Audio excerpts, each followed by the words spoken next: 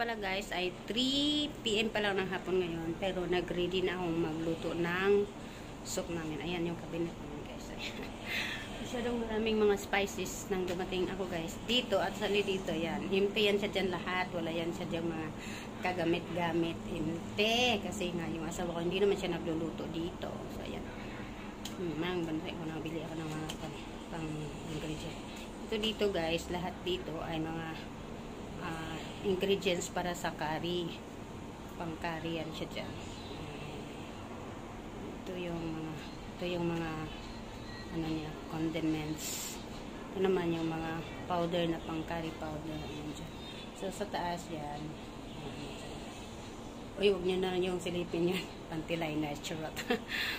Ayan. Dito pala, hindi pa ako nakapag house tour sa bahay namin. Guys, actually guys, yung bahay namin, sobrang liit lang to guys. Kasi studio type lang siya. So, ayan.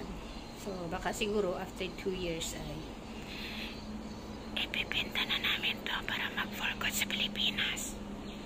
Ayan. So, uy, narinig niyo yun.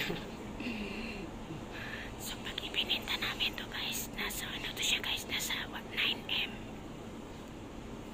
Narinig, no? Secret. Secret lang natin yun. Sure.